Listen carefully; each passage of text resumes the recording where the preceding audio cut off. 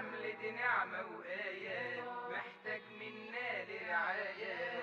الصبر متعب وهاته اتحلت الحمل دي نعمة وآية محتاج منا لرعاية.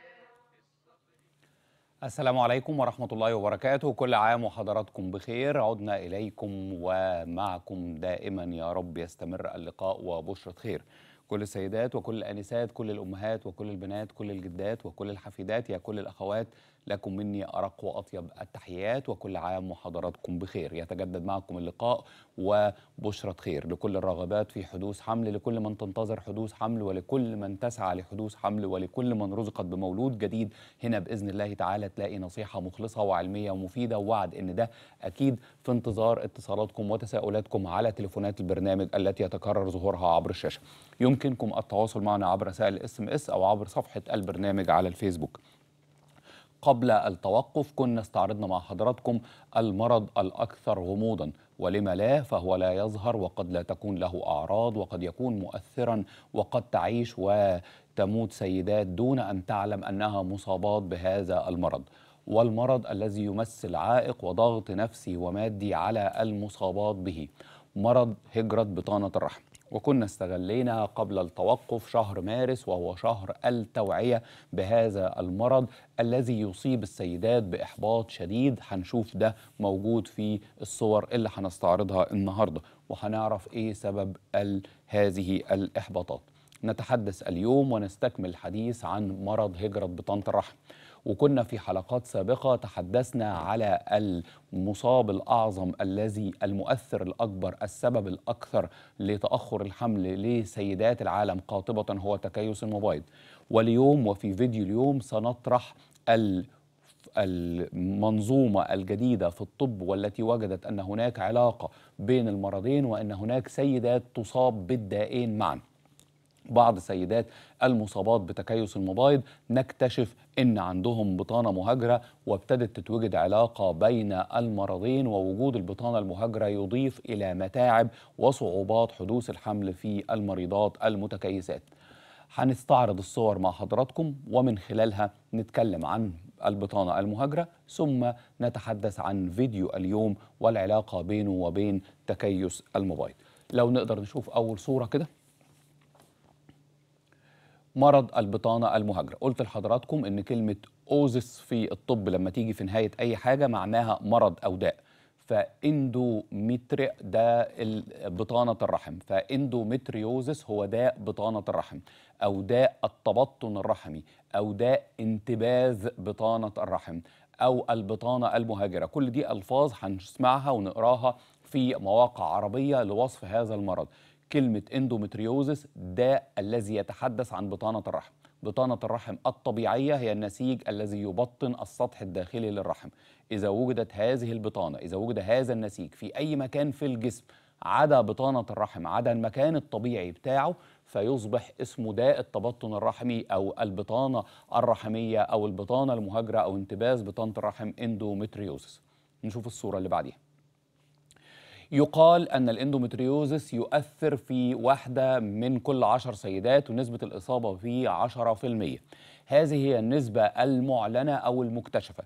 لكن كثير من الأطباء المتخصصين في تأخر الحمل وفي جراحة المناظير يقطعون ويقسمون أن نسبة الإصابة بهذا المرض أعلى من هذا وقد تكون ضعف هذه الأرقام. ليه؟ لأن هذا المرض لا يكتشف إلا من خلال إجراء جراحة اسمها منظار البطن. ومش كل السيدات بيجرى ليها مثل هذه الجراحة.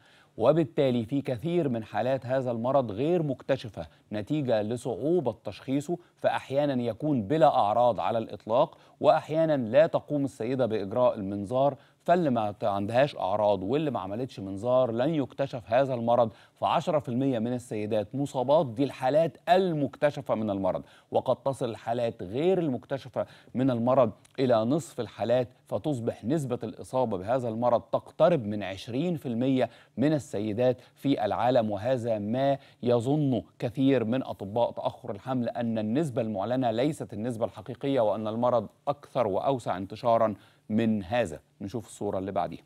لكن إذا تخيلنا من كل عشر سيدات هناك سيدة مصابة. ودايما المصابات بهذا المرض اتفقنا في الولايات المتحدة الأمريكية وفي أوروبا الغربية أن يرتدين اللون الأصفر طوال شهر مارس للفت الأنظار لهذا اللون. زي ما بتشوفوا كده اللون البينك اللي بيتقال للتوعية بسرطان الثدي فالتوعية بمرض البطانة المهاجرة له شهر من كل عام وهو شهر مارس ترتدي في محاربات هذا المرض لأنه حرب مستمرة ودائمة زي ما هنستعرض في الحلقات التالية.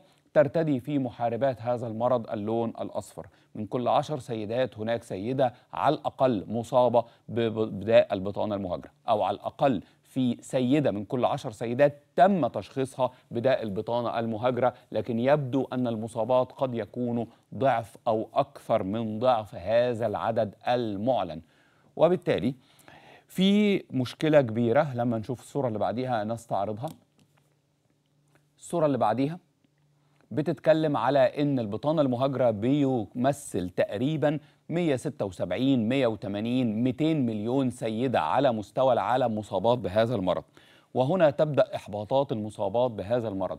هذه الأرقام تماثل تقريبا نسبة الإصابة بمرض السكر زي ما قلت لحضراتكم. لكن كل العالم رجالة وستات كبار وصغيرين أطفال وفتيات وصبية وشيوخ يعلمون الكثير عن مرض السكر. يعرفوا اسم المرض ويعرفوا أعراضه ويعرفوا توابعه ويعرفوا تأثيراته. لكن عندنا مرض بنفس نسبة الإصابة بنفس أعداد المصابين في العالم ولا يعلم في العالم عنه شيء غير يمكن ما بين 15 ل 20% من البشر. يعني 80% من الناس أو أكثر لا يعلمون شيء عن مرض البطانة المهاجرة وأحيانا لم يسمعوا عنه شيء على الإطلاق. وبالتالي بعض السيدات المصابات به بيشعروا بإحباط شديد نتيجة لعدم اهتمام المجتمع ولعدم معرفة المجتمع ولعدم تقدير العالم لآلامهم ومشاكلهم. وحابب أجيب لحضراتكم فيديو في سيدة من المصابات بتقول إن أنا ذهلت لما دخلت مستشفى بألم شديد فبقول للممرضة أصل أنا مريضة بطانة رحم مهاجرة وده سبب الألم اللي عندي. فالممرضة دي قالت لها إيه البطانة المهاجرة ده؟ وما هو هذا المرض؟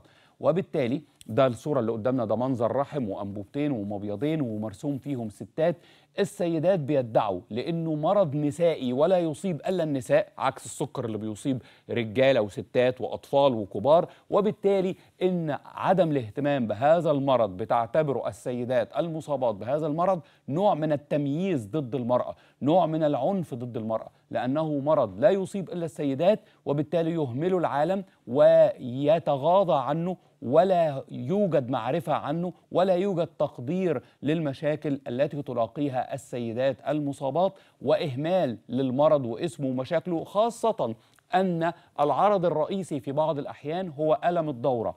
ولا يهتم العالم كله. إيه يعني إن الدورة بتيجي بألم؟ مش مهم. بالمناسبة ده ليس العرض الموجود في كل الحالات. مش مهم إن تجيلك بألم. ما تتألمي ما تتعذبي ما تتقطعي ما تضربي راسك في الحيط ما تعضي في الأرض وقت الدورة. إيه يعني؟ مش مشكلة. خلقت السيدات ليعانين ويتألمن. ده اللي بتشعر به السيدات المصابات من إهمال العالم لهذا المرض رغما عن انتشاره ورغما عن النسبة العالية للإصابة به ورغما عن التبعات المستقبلية له التي لا تتوقف عند تأخر الحمل وعدم حدوثه والتي تصل إلى نزيف واستئصال الرحم في بعض الأحيان والتصاقات شديدة وانسداد في الأمعاء وتحول لأورام غير حميدة. كل دي تبعات هذا المرض. المنتشر انتشار شديد ولكن لا يعلم العالم عنه شيء رغما عن نسبة انتشاره المرتفعة. ولهذا نشوف الصورة اللي بعديها. الصورة دي بتقول all women with endometriosis feel weighted down by lack of awareness and not being understood. معظم السيدات المصابات بمرض البطانة المهاجرة يشعرن بإحباط شديد وبان فرصهم في الحياة ورغبتهم في الحياة بتبقى محبطة جدا نتيجة لعدم وعي المجتمع والناس بهذا المرض ولأنهم مش مفهومين مش مفهوم آلامهم ومش مفهوم مشاكلهم ومش مفهوم معاناتهم. وهذا يمثل ضغط آخر غير ضغط المرض، المرض له ضغط عضوي ومؤلم وله ضغط اجتماعي لأنه يعيق عن حدوث الحمل وله ضغط في النجاح السيدة في حياتها لأنه بيخليها تغيب عن دراستها وعن شغلها وله ضغط مادي لأنه تكلفة علاجه عالية جدا زي ما هنشوف وكمان في ضغط مجتمعي نتيجة لإهمال المجتمع وعدم تقديره للمصابات بهذا المرض. وللأسف الشديد سنجد هناك نسبة من مريضات هذا المرض يفكرنا في الانتحار وهنبقى نجيب لحضراتكم صورة بتتحدث على نسب التفكير في إنهاء الحياة بين المصابات بهذا المرض. نشوف الصورة اللي بعديها.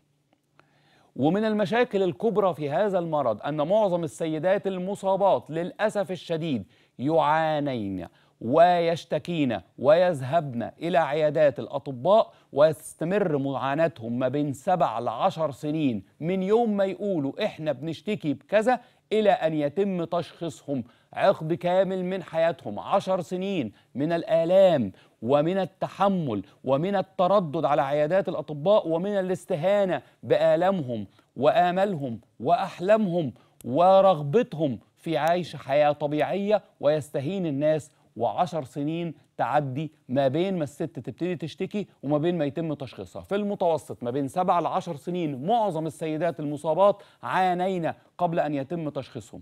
يبقى مرض ضاغط مؤلم مؤثر ويتأخر حتى الأطباء في تشخيصه وقد تمر من سبع لعشر سنين. النهاردة بنتكلم على العنوان الصور بتاعت النهاردة أرقام وحقائق صادمة عن البطانة المهاجرة. نشوف الصورة اللي بعديها عشان نضيف للمشاكل دول. 73% من السيدات اللي عندهم بطانة مهاجرة تأثرت علاقتهم بوجود البطانة المهاجرة سواء علاقة الزوجية والحميمية نتيجة لوجود ألم مع الجماع يجعل هذه السيدة تكره هذا الموضوع أو تتهرب منه وبالتالي تتأثر علاقتها ال بالعلاقة الجسدية مع الأزواج وبالتالي ده يخليهم بيبقوا مطلقات بنسبة أعلى كثيرا من المعتاد. لكن مش بس كده ده 73% إحنا بنقول الريليشن بتاعتهم. نتيجة لإن الست دي على طول متألمة وعلى طول بتعاني وعندها ألم شديد مع الدورة فعلاقاتهم الاجتماعية بتتأثر. هنلاقي دايما دي البنت اللي ما بتروحش المدرسة كل شهر يومين ثلاثة البنت اللي ما تقدرش تطلع رحلة مع زميلاتها البنت اللي ما تقدرش تحضر مناسبة اجتماعية ولا عيد ميلاد صاحباتها لأنها وقتها جالها ألم شديد مع الدورة ولا ما قدرتش تطلع الرحلة بتاعة المدرسة ولا في شغلها متفوقة لأنها كل شهر محتاجة تغيب يومين ثلاثة من الشهر. وبالتالي الكارير بتاعها ومستقبلها المهني والدراسي بيتأثر شديدا علاقاتها المجتمعية علاقاتها والنفسية وعلاقاتها الحميمية والجسدية بتتأثر وبالتالي مرض بلا متعة على الإطلاق وحياة هذه السيدات المصابات مجموعة من الآلام المتصلة التي قد لا تنتهي حتى بعد العلاج في بعض الأحيان للأسف الشديد. 73% من السيدات المصابات بهذا المرض تأثرت علاقتهم الزوجية وبالتالي قد تستدعي إنهاء هذه العلاقة سواء علاقة ارتباط خطوبة جواز وينتهي بنسبة طلاق مرتفعة جدا نتيجة الإصابة بهذا المرض. طب هو ضاغط نفسيا وضاغط جسديا بس ولا ضاغط اجتماعيا وضاغط في علاقة زوجية ضاغط أيضا في الصورة اللي هنشوفها بعد كده نشوف الصورة التالية. 70 بليون ما يصرف سنويا في الولايات المتحدة الأمريكية فقط على علاج هذا المرض. يقدر ما يصرف من أموال لعلاج هذا المرض. سنويا أنا مش بتكلم في عشر سنين. كل سنة تتكلف ميزانية دي دولة واحدة اللي عاملة ميزانيات وإحصائيات جيدة. وعندهم نسبة عالية من الإصابة بهذا المرض. فعندهم إحصائيات قوية جدا. تتكلف الخزانة الأمريكية والميزانية الأمريكية وميزانية الصحة الأمريكية والتأمين الصحي الأمريكي 70 بليون دولار سنويا لعلاج مريضات هذا المرض. فهو مرض مكلف مكلف علاجاته كلها غالية ومكلفة ومؤثرة. ربنا يجعل أي واحدة بتعاني منه في ميزان حسناتها ما تلاقيه. 70 بليون في الولايات المتحدة لوحدها سنو تصرف سنويا لعلاج مرض البطانة المهاجرة. هذه هي الأرقام والحقائق الصادمة عن هذا المرض. لو في صورة تانية نشوفها؟ شهر مارس من كل عام هو شهر التوعية بمرض البطانة المهاجرة. عشان كده كنا ابتدينا حملة التوعية عشان الناس في مصر تسمع لأن لما طلعت في البرنامج ده منذ سنوات تقترب أو تزيد الحمد لله على عشر سنوات كنت بقول مرض هجرة بطانة الرحم أو البطانة المهاجرة أقسم إن في بعض الحلقات بعض الأطباء كانوا بيكلموني أطباء خريجين كلية الطب يقولوا لي هو أنت تقصد إيه باللفظ هجرة بطانه الرحم؟ هو ده مرض إحنا درسناه في كلية الطب هو اسمه إيه المرض ده؟ كنا بندرسه باسم إيه؟ لأن there is lack of awareness عدم وعي شديد في المجتمع عن هذا المرض. وقرر المريضات والأطباء المتخصصين في هذا المرض أن يكون شهر مارس من كل عام هو شهر التوعية بهذا المرض. وإن العلامة دي لما بنشوفها يبقى علامة مرض يصيب السيدات. ولما يبقى اللون أصفر يبقى المرض ده بنتحدث عن البطانة المهاجرة. شهر مارس واللون الأصفر وهذه العلامة إذا اجتمعت الثلاث حاجات دول فنحن نتحدث عن إندومتريوزس داء البطانة المهاجرة هجرة بطانة الرحم داء البطانة الرحمية داء انتباز البطانة الرحمية داء التبطن الرحمي. أي من هذه الألفاظ هتلاقوها في المواقع العربية. هل في صوره أخرى؟ طيب. ناخد الاتصالات اللي معانا ونحضر الفيديو عشان هنتحدث عن مرضين مرضين شهيرين ونقول ونلفت النظر اللي للأسف المنطقة العربية والأطباء العرب لسه مش واخدين بالهم أن هناك علاقة وثيقة بدأت تظهر بين المرضين مرض تكيس المبايض وبطانة الرحم المهاجرة. واللي هيقول لأ واللي هيعارض كلامي واللي هيقول لأ الكلام ده مش موجود في كتب الطب هنقدم له الفيديو ده عشان يراجع ويحدث معلوماته. معنا اتصال اتفضلوا. أيوه السلام عليكم. وعليكم السلام ورحمة الله. ازيك يا دكتور؟ أهلا بحضرتك. آه يا دكتور أنا من محافظة جنة. أهلا آه بيك. أنا من عشر سنين يا دكتور اتصلت عليك وانت قلت لك إن أنا عندي تكيسات على الموبايل ورحت اديتني يا دكتور سيتوفاج. مشيت بيه ثلاث شهور وبعد الثلاث شهور رحت جبت كولوميت منشط كنت اخذ برشمتين الصبح وبرشمتين الليل بالليل وحملت كان لي ثمان سنين واقفة. طيب الحمد لله. حملت بتوأم الحمد لله الحمد لله. حملت بتوأم ولا واد وبنت. ربنا يخليهم لك. توفت بس الواد دلوقتي له 11 سنة يا دكتور. ربنا يخليه ويبارك ومع- فيه. وحاليا أنا معي ثلاث أولاد. ربنا يخليهم بس لك. اخر آخر طفل يا دكتور كانت عندي المشيمة الملتصقة. أنا ولدت ال- الواد الأولاني ولدته طبيعي. الثالث الثاني ولدته قيصري. والثالث الثالث قيصرية والمشيمة التصقت. الت- الثالث قيصرية لأني كانت المشيمة ملتصقه هل لو حصل حمل ثاني في خطورة على حياتي عشان عايزي نقل دم ولازم في مستشفى مجهزة رحت ولدت في مستشفى الدولي عندنا في الاقصى طيب حضرتك عمرك كم سنه عندي عمرك كم سنة الآن. أنا عمري 38 سنة. طيب هو فندم؟ الطفل ده اخر طفل فيه عمره سبع سنين بالضبط آخر طفل. لو حصل حمل ثاني يعني نفسي بفكر ان أنا نفسي الغيب لا مثلا ولا ولا أنت مثلا في خطوره على حياتي بلاش. حاضر يعني. حاضر. الغيب فأنت- يعلى بعد إذن حضرتك بس عشان هم بيضغطوا عليا عشان فاصل بس. أنا هجاوب حضرتك بعد الفاصل لكن بس هجاوب أقول دايما عندما نسأل عن المستقبل الغيب يعلمه رب الغيب. سنتحدث عن فرص عن نسب عن احتماليات.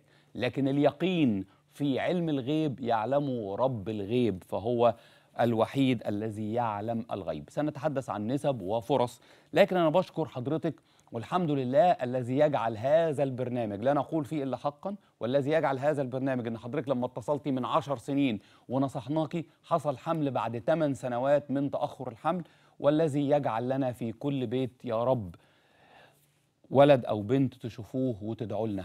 وندعو الله أن يوفقنا وأن يستمر توفيقه وما نقوله هو خالصا لوجه الله. وقد نوفق وقد لا نوفق لأن دي طبيعة البشر. لكن ولله الحمد سنقول لحضرتك النسب والفرص. لكن أستأذن حضراتكم نجيب بعد فاصل قصير فاصل وبعد الفاصل نواصل بشرة خير.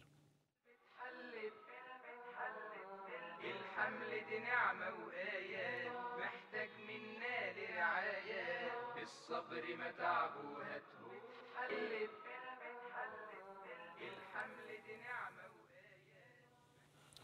السلام عليكم وعدنا إليكم بعد الفاصل ونستكمل الحديث معكم وبشرة خير.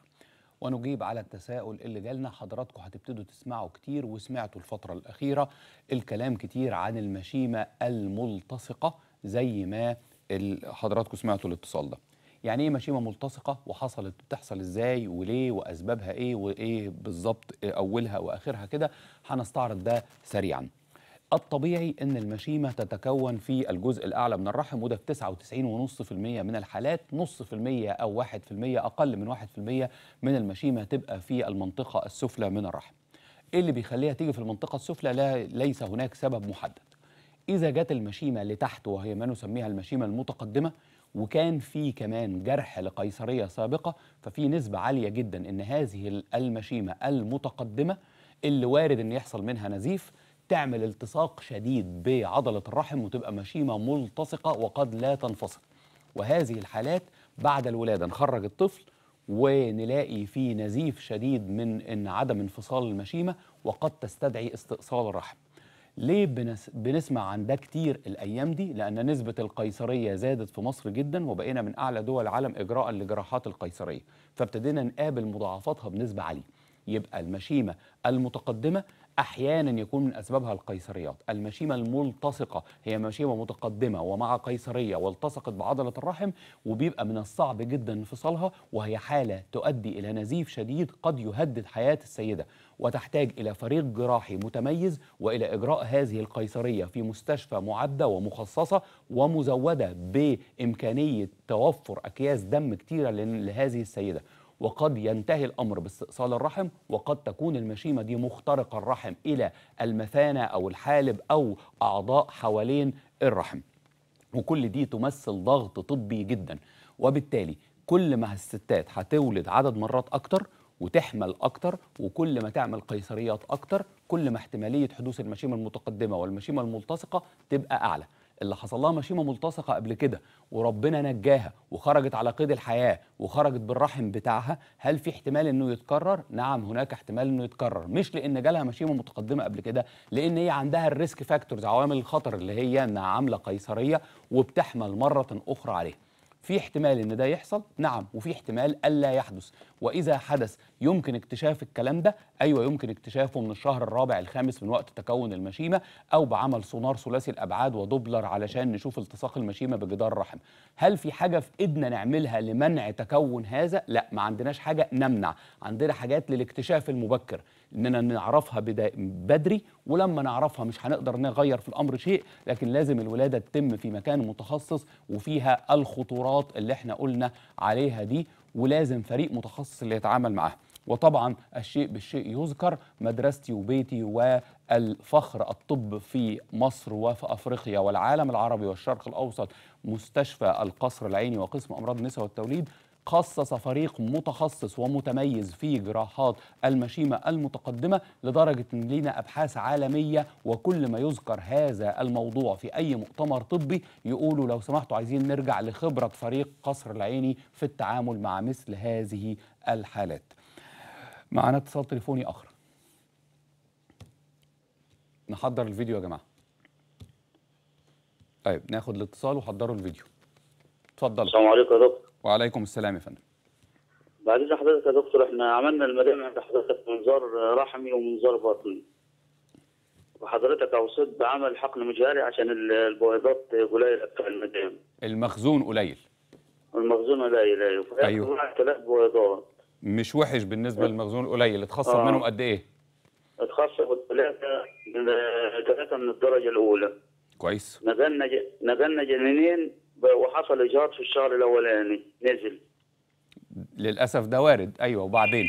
آه فدلوقتي في في جنين متجمد. في جنين مجمد. أيوه تروحوا تنقلوه. نص- نصيحة حضرتك ننقله ولا نبدأ دورة لا، لا، لا. آه، تنشيط؟ آه. حضرتك حضرتك أكنك بالظبط قابلتني في الشارع وبتقول لي أنا مزنوق في فلوس وعايز فلوس. أنا تفتكر أروح أستلف من ناس وألف عليهم ولا أنا ليا شهادة مجمدها في البنك أفكها الأول. تفتكر الرد. هيكون إيه؟ ال- الحاجة اللي في إيدك وبتاعتك ومتجمدة ليك روح فكها واستخدمها. جايز يحدث منها حمل. كون إنه حصل حمل وانتهى بإجهاض ده وارد جايز الجنين ده لا يحدث منه حمل لا قدر الله. وقد يحدث ويكتمل وقد يحدث ويجهض. لكن كمان التكلفة والضغط العصبي والنفسي والمادي عليكوا أقل كتير لما انقل جنين مجمد. صحيح هو واحد بس وده وفي واحدة بويضاتها مش نوعيتها جيدة. فده وارد إنه لا يحدث حمل لا قدر الله أو يحدث وينتهي بإجهاض. لكن الأول نستغل ده فلان ده ممكن نعمله بطريقة سهلة وبسيطة ورخيصة وبعد دورتين ثلاثة من الإجهاض اللي حصل. فإذا حدث حمل فبها ونعمة. فإذا لم يحدث حمل ساعتها بعد دورتين نبقى نكرر محاولة الحقن المجهري. لكن استخدام الأجنة المجمدة دايما هو الأولى. وإن شاء الله ربنا يوفقكم. العفو. طيب. وأنت بالصحة وبكل سلامة إن شاء الله يا رب. نسمع منك اتصال قريب إن حصل حمل يعني. الحمد لله إن إحنا يعني لما بنصف لناس بنصف لهم الطريق السليم الصحيح الأسرع. تمام؟ الحقن المجهري ليس تخصصي. ومع ذلك قلت للناس دول أنا مش فاكر الحلقة إيه لكن قلت للناس دول عند الم- المخزون قليل. المنظار لما عملناه اكتشفنا إن المخزون قليل وعدد وجودة البويضات وفي مشاكل أدت المخزون قليل. الأعلى والأفضل هو في اللجوء للحقن المجهري وعملنا منظار رحمي اللي بيسهل فرص حدوث الحمل بالحقن المجهري. عملنا الحقن وطلع عدد من البويضات معقول بالنسبة لواحدة مخزونها قليل. لم نكن موفقين إن شاء الله ربنا يوفقنا. بس ده دليل إن إحنا اللي قلناه هو صحيح لأنه لم يحدث حمل إلا باستخدام هذه التقنية لما سمعنا الكلام ورحنا نعمل ده. إن شاء الله خير. معانا اتصال تليفوني آخر. اتفضلوا. دكتور عادل؟ أهلا يا فندم اتفضلي. آه، يا دكتور أنا متجوزة من خمس سنين. كويس. آه، حصل حمل بعد سنة وأربع شهور على على إشاعة صبغة أيوه. تمام؟ بعديها حملت الحمد لله والحمل وصل للشهر التاسع. بعد كده الجنين اتوفى.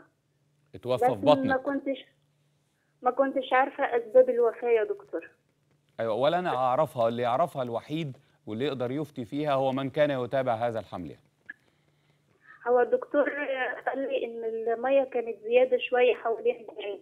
وحضرتك حد فهمك إن الميه الزيادة تقتل الجنين؟ أنا بقى أقول لحضرتك الميه الزيادة دي ليست مشكلة لكن الميه الزيادة إذا كان سببها وده أكتر أسبابها ارتفاع سكر الست دي أثناء الحمل فالسكر يقتل الجنين وده تمرين طبي مشهور. ست حامل محدش حلل لها سكر السكر بيعلى من غير ما حد يدرى السكر لا يقتل الأجنة إلا في الأسابيع الأخيرة من الحمل. كل اللي تلاحظه إن الست دي الميه حواليها حوالين البيبي كتير شوية.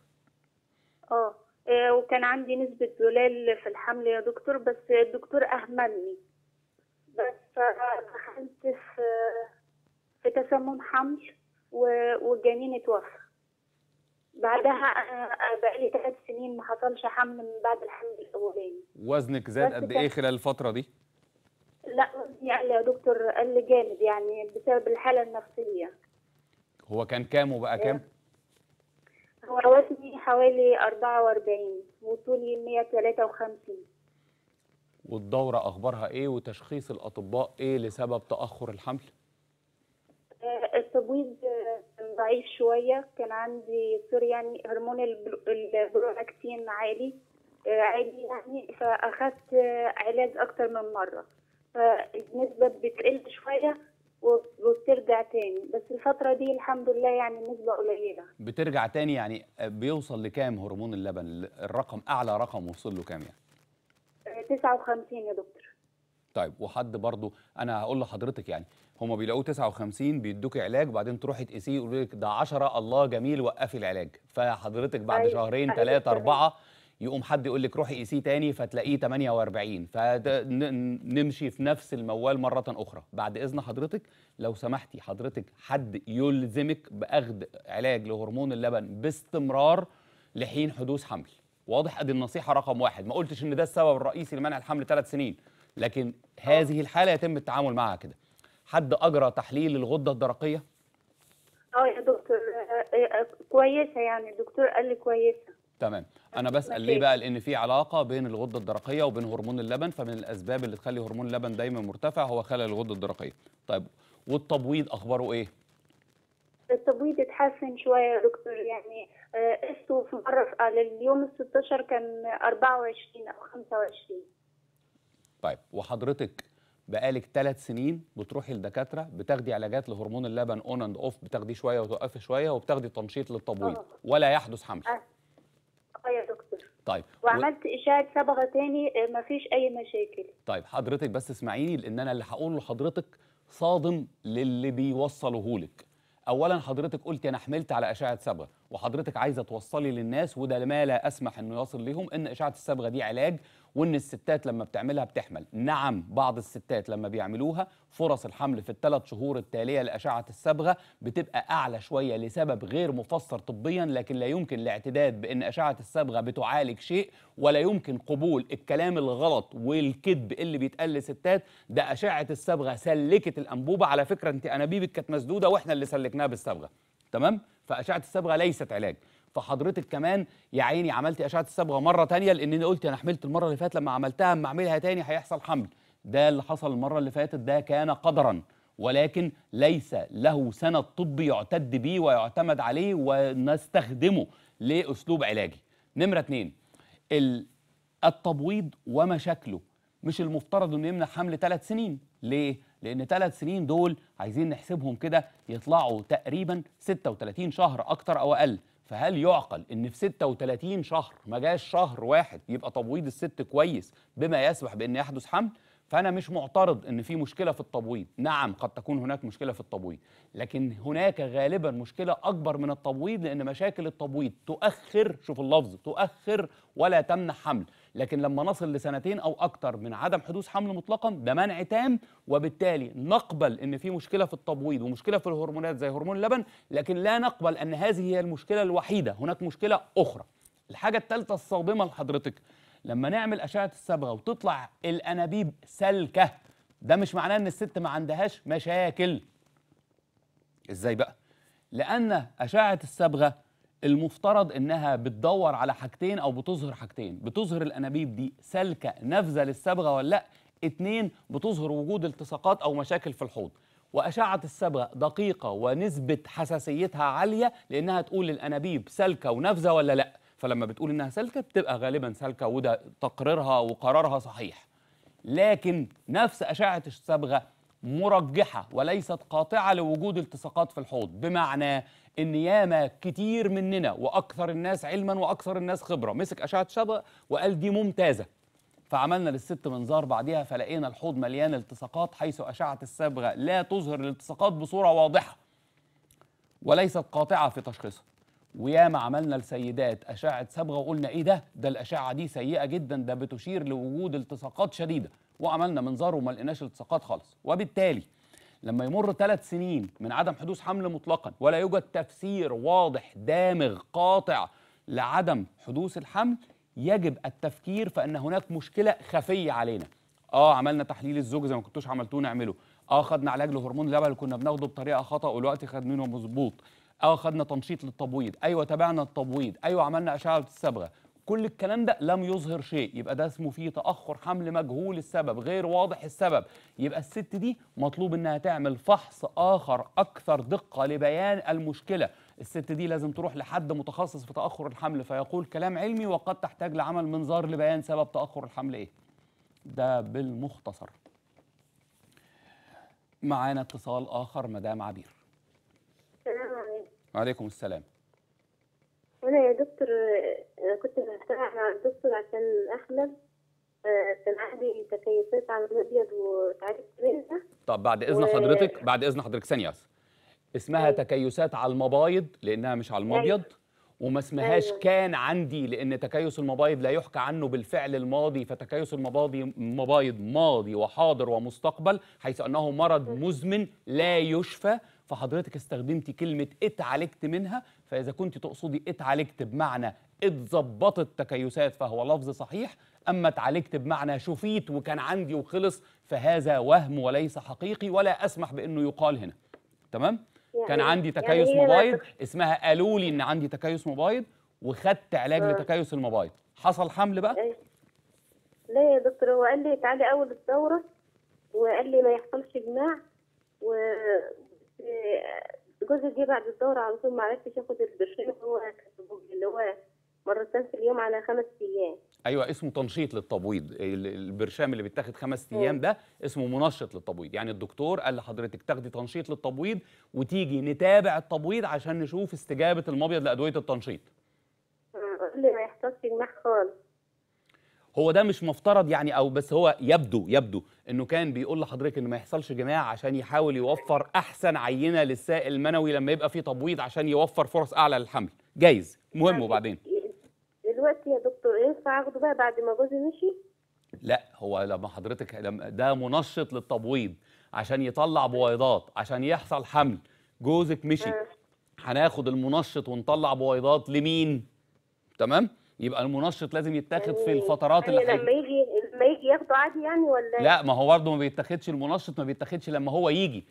تنشيط التبويض بيتاخد بداية من اليوم الثاني للخامس من بداية الدورة لمدة خمس أيام. طب افرض أنا بقى ما افتكرتش لما. ما وعدتش أيوه لما تيجي. ما افتكرتش آه، إلا آه. اليوم العاشر. ينفع آخد منشطات كده أو يعني تعمل أي حاجة؟ لا ما ينفعش. تمام؟ طب لا أنا أعرف عيانة كانت بتيجي عند حضرتك وحضرتك في اليوم العاشر كتبت لها حقنة منشط كتبنا حقنة منشط لاستكمال ما بدأته مش لتبدأ تنشيط للتبويض. واضح؟ هو طب يا دكتور لما تيجي الضغط يعني ياخده عادي أيوه يا فندم بس حضرتك لازم تروحي لدكتور يفهمك. انت في حاجات حقائق كتير في يعني- حالتك يعني ما انتش فاهماها. لازم تعرفي. يعني إيه إن الدواء ده منشط ويعني إيه تكيس مبايض والمنشط ده بيتاخد في أيام إيه وأروح أتابعه إمتى؟ تمام؟ ومش حاجة كده اسمها أخده عادي لأن ده المنشط ده مش علاج للبرد. أول يوم الدورة. طيب المنشط ده مش علاج للبرد أخده وأقعد في بيتنا ده لازم أخده وأروح أتابع التبويض.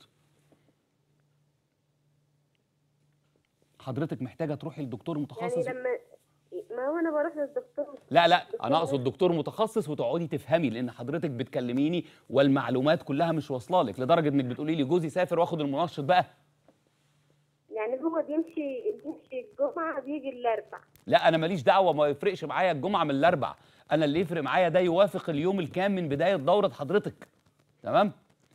فلو هو بيجي بي بي بيمشي الجمعة ويجي الأربع والأربع ده وطلع موافق اليوم ال17 من بداية الدورة فمرت أيام التبويض ومجو ومجيئه يوم الأربع أنا آسف في اللفظ يعني كعدمه لأنه مش مجدي في حدوث الحمل. يعني يعني يا دكتور آه، استنى لما تيجي تاني واخد البرشام ده؟ أيوه حضرتك اسمعيني بقى اللي هقوله ده قبل ما تسأليني السؤال ده وتكرريه عليا رابع مرة. حضرتك تروحي لدكتور متخصص تقعدي قدامه يفهم حضرتك يعني إيه تكيس مبايض يعني إيه تنشيط للتبويض؟ ادوية التنشيط بتتاخد إمتى؟ متابعة التبويض بتتعمل إزاي؟ لازم تخرجي من العيادة فاهمة. ما هو يا دكتور أنا بعرف اتفاهم معاه لا هو حضرتك بقى الدكتور حضرتك هقول هقول الجمل دي تاني وتردي عليا تقولي حاضر إن شاء الله هعمل كده. خلاص؟ حاضر. حضرتك هتروحي لدكتور متخصص يعني تخصصه تأخر حمل يعني لما بقى قاعدة في العيادة ما الاقيش كل اللي قاعدين في العيادة ستات حوامل لأن دي مش مكاني تمام؟ أفهم يعني إيه تبويض والعلاج بيتاخد من اليوم الكام والمدة قد إيه. اسمعيني من خلال التلفزيون بعد إذن حضرتك والكنترول نحضر الفيديو بعد إذنكم.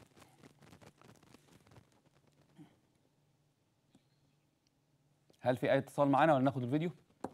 طيب الفيديو تتحدث فيه واحدة منسقة للحديث عن البطانة المهاجرة وإحنا قلنا إن البطانة المهاجرة مع آلام السيدات لكن معظم المصابات بيها سيدات في غاية الرقة والأنوثة والجمال. هتحدثنا وهنترجم حديثها عن التكيس المبايض والبطانة المهاجرة والعلاقة التي وجدت حديثا بين المرضين. نشوف الفيديو ونعلق عليه ولما نحتاج نتوقف هنتوقف وأقول لحضرتك. اتفضلوا يا سو.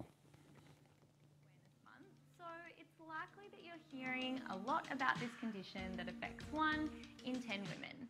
In addition to endometriosis, there's another condition that I'm going to talk to you about today, one that affects 12 to 18% of menstruating women. That is polycystic ovary syndrome. There's a lot of info around about both conditions, so today I'm going to explain what each is and how they are different. Okay, let's break it down. في 25% مرض تكيس المبيض مرض الأكثر انتشارا. هو يمكن يكون أكثر معرفة الناس بيه.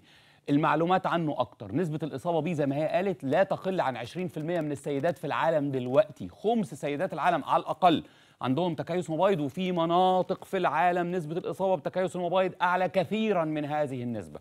تمام؟ لكن قالت إن البطانة المهاجرة الأرقام المعلنة 10% رجعت قالت إيه بقى؟ 25% شوفوا حديث الأرقام الذي لا يخطئ. 25% من مريضات التكيس اكتشفنا إن عندهم بطانة مهاجرة وفي علاقة وثيقة بين المرضين. بالمناسبة مرض البطانة المهاجرة لا يكتشف إلا من خلال منظار. فلما نيجي نقول لسيدة عندك تكيس مبيض ومحتاجين نعمل لك منظار يقوموا دكاترة الحقن المجهري اللي عايزين ياخدوها يعملوا لها حقن مجهري لا لا لا اوعي تعملي منظار. بيحرموها من قيمة المنظار لتشخيص هل هي مصابة بمشكلة أخرى مشهورة مع تكيس المبيض ولا لأ. وهذه المشكلة إذا كانت موجودة اللي هو البطانة المهاجرة يؤثر بالسلب على الحمل وفرص حدوثه ونسب نجاح الحقن المجهري. لكن هم عايزين يعموها عن, عن هذه النقطة. ليه؟ لأنها إذا أجرت المنظار قد نعالج المرضين فتحمل طبيعي فيفقدوا إنها تبقى زبونتهم ويخفوا عنها طبيعة مرضها. نشوف الحقائق التالية عن مرض البطانة المهاجرة نستكمل الفيديو بعد إذن حضراتكم down. First of all, what is endometriosis? Endometriosis is a condition whereby the cells similar to those that line the uterus, called the endometrium, grow in other locations such as organs in the pelvis or along the ممكن inside نشيل lining اللوجو. of the abdomen. When you are ovulating, the endometrium thickens, and then as our period arrives, the endometrium cells leave the body. For those with endometriosis, the misplaced cells also thicken during ovulation. However, these misplaced cells that may be in the pelvic organs or the stomach lining don't have the opportunity to ممكن نخلي ال- الصورة اللي كانت موجودة الصورة اللي وقفناها في الفيديو نخليها موجودة على الشاشة جنب- جنبي معايا. إذا قدرنا. نخلي الشاشة معايا. عايز صورتي مع ده. طيب دلوقتي زي ما هي كانت بتشرح كده بطانة الرحم الطبيعية عايزين الصورة بتاعت الفيديو مع صورتي بعد إذنكم في شاشة واحدة إذا أمكن. بطانة الرحم الطبيعية دي بتنمو داخل تجويف الرحم تستجيب لهرمونات المبيض التي تخرج أثناء عملية التبويض فيحدث سمك في بطانة الرحم ثم عند عدم حدوث حمل تهبط هرمونات المبيض فيحدث شيدنج تتقطع بطانة الرحم الداخلية من بعضها وتنزل في صورة دم دورة. يبقى دم الدورة الذي تعتقد السيدات أنه دما خالصا هو ليس دما خالصا هو دم. ولما نبص عليه تحت الميكروسكوب معاه نسيج اسمه بطانة الرحم. هذا النسيج اللي هو بطانة الرحم اللي المفروض يبقى موجود داخل التجويف الرحمي لسبب لا نفهمه بيرتد جزء من دم الدورة في الأغلب دي النظرية الأكثر قبولا حاملا معه البذرة اللي اسمها بطانة الرحم لتنزرع في الحوض. فإذا انزرعت بقت بطانة الرحم الخارجية المهاجرة اللي موجودة في الحوض وبطانة الرحم الداخلية الطبيعية اللي موجودة جوه الرحم. والاثنين نفس النسيج فبيستجيبوا لهرمونات المبيض. فالصورة اللي قدام حضراتكم على الشاشة اللي فيها نقط سوداء على سطح الأنبوبة قناة فالوب وعلى أعضاء الحوض هي دي النقاط الدموية من مرض البطانة المهاجرة. بقت في بذرة من نسيج اسمه بطانة الرحم موجودة في الحوض. هذه البذرة ستستجيب لهرمونات المبيض وتيجي وقت الدورة تتمزع وتنزف دم. بس الدم بتاعها ده غير دم الدورة اللي جاي من بطانة الرحم الداخلية اللي موجودة في مكانها الطبيعي. بطانة الرحم الطبيعية تتمزع وينزل دم دورة له مخرج من عنق الرحم إلى المهبل إلى الخارج. بطانة الرحم المهاجرة اللي موجودة في الحوض تنزف دما وقت الدورة داخل حوض الست. في بطنها فأكن بيحصل لها نزيف داخلي مع كل دورة. عشان كده عندها آلام شديدة مع الدورة. وهذا الدم المتجمع والذي يتكرر كل شهر يحدث التهابات في منطقة حوض. دم دورة متجمع جوه الحوض ويحدث التصاقات بين أعضاء الحوض وبالتالي يؤثر بالسلب على عمل أعضاء الحوض وعلى طبيعتها. ده ملخص كيف ينشأ مرض بطانة الرحم المهاجرة وكيف يحدث مشاكله وصورتي أنا هتفيد وهنكمل الفيديو بعد إذن حضراتكم فول سكرين to leave the body when our period comes. Instead, they bleed, cause inflammation and pain, and then finally heal. Over time, for those with endometriosis, scar tissue can form on the lining of the abdomen, causing the uterus, ovaries, fallopian tubes, and bowel to stick to each other. Endometriosis can cause painful periods and may reduce fertility. So, how does this compare to polycystic ovary syndrome? While both conditions involve مرض البطانة المهاجرة العرض الرئيسي له العرض الرئيسي أن أحيانا قد لا يكون هناك أعراض على الإطلاق العرض الرئيسي تأخر حمل مجهول السبب. ستات تحارب لعدم حدوث حمل لعدة سنوات. بقالي ثلاث سنين ما حصلش حمل زي الاتصال اللي سمعتوه. بقالي خمس سنين متجوزة ما حصلش حمل. ما فيش دكتور مديني سبب واضح. مديني عقاد نافع. حد بيفسر لي تفسير يقيني. أنا ما بحملش ليه؟ تأخر حمل مجهول السبب. هو واحد من أكثر أعراضه. أحيانا قد لا تكون هناك أعراض من اللي هقولها دي على الإطلاق لكن الأعراض الأكثر ظهورا غير تأخر الحمل مجهول السبب هو ألم الدورة ألم الظهر ألم الجماع ألم مع التبول أو التبرز ألم مع حركة الأمعاء. دايما هنسمع ألم ألم ألم ألم في أيام التبويض وأعراض أخرى سنستعرضها لاحقا لكن هنستكمل الحديث ونشوف العلاقة واللينك بين المرضين تكيس المبايض والبطانة المهاجرة بس ندي لحضراتكم فكرة سريعة عن تكيس المبايض اللي إحنا قلنا عنه كتير جدا نشوف بقية الفيديو of a woman's reproductive organs, they are quite different. To begin with, girls produce the hormone estrogen, whereas guys have all that brooding testosterone. However, in addition to estrogen, females also have the male hormone androgens, but in smaller amounts. Sometimes ovaries produce more androgens than what's considered normal for a female, and this is called hypoandrogenism. These high levels of male hormones can tamper with our healthy ovulation process, and the imbalance can even cause some little follicles to grow off the ovaries. These follicles lead to the formation of cysts, and that's exactly where the cyst part of polycystic ovary syndrome comes from. So, while both conditions affect the female reproductive organs, polycystic ovary syndrome is a hormonal condition, and endometriosis is a disorder relating to the endometrial cells growing outside of the lining of the uterus. So, what are the symptoms to look out for with each condition? For endometriosis, the biggest symptom is severe pain during your period. Other red flags include pain with sex, abdominal, back or pelvic pain, discomfort when going to the toilet, and heavy bleeding. Polycystic ovary syndrome, on the other hand, may present symptoms such as weight gain, irregular or really heavy periods, significantly increased hair growth, acne, or other menstrual problems such as not getting your period at all. Okay, let's move on to the causes. Unfortunately, this is where similarities between the two conditions lie. For both endometriosis and polycystic ovary syndrome, there is no clear cut answer on the cause. However, links have been made to family history. Insulin resistance and lifestyle factors are also thought to contribute to polycystic ovary syndrome. Lastly, treatment. While عايز اكد على الجملة اللي كانت موجودة على الشاشة منذ ثواني لو نقدر نرجع ثانيتين ثلاثة كده من الفيديو المشكلة أن كلا المرضين مرضين بلا شفاء مرضين مزمنين بلا شفاء تام يمكن ضبطهم يمكن علاجهم لكن لا يوجد شفاء تام الأبحاث الحديثة أوجدت علاقة بين مرض تكيس المبايض ومرض البطانة المهاجرة. الناس المتكيسات بيحصل عندهم نضوج للبويضات وخروج لهرمون أنوثة بدون حدوث تبويض وخروج هرمون البروجستيرون وتعرض أنسجة بطانة الحوض أنسجة الحوض إلى هرمون الأنوثة بصورة مستمرة. قد يكون واحد من العوامل التي تؤدي إلى تغير أنسجة تجويف الحوض إلى أنسجة شبيهة لبطانة الرحم. ومن هنا وجدت العلاقة بين المرضين. ومن هنا اكتشفنا إن 25% على الأقل ربع المتكيسات عندهم مرض بطانة مهاجرة وهذا المرض لا يكتشف إلا بمنظار. وبالتالي المتكيسات التي لا يحملن لفترة طويلة يجب عمل منظار لاكتشاف هل هناك بطانة مهاجرة مصاحبة لهم ولا لأ. لأن لو هذا المرض موجود سيكون النتائج محبطة وعدم حدوث حمل رغما عن علاج جيد لتكيس المبايض إلى جانب ظهور اعراض أخرى إلى جانب المشاكل المستقبلية من مرض البطانة المهاجرة وهو مرض لا يمكن تشخيصه ولا يمكن تحديده ولا يمكن معرفته ولا معرفة درجته الا بمنظار وهو مرض للأسف الشديد لا شفاء منه كمرض تكيس المبايض لكن المرضين يؤثروا بالسلب على فرص السيده في حدوث الحمل والمرضين يمكن ضبطهم وعلاجهم عند التعامل مع متخصص في مجال تأخر الحمل.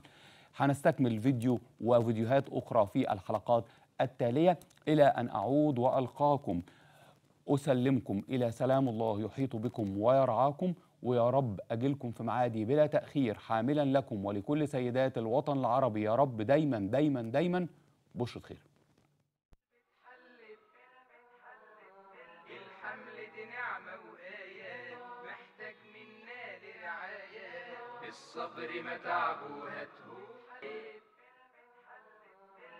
دي نعمة وآية محتاج منا لرعاية. الصبر ما تعبه هاته الحمل دي نعمة وآية محتاج منا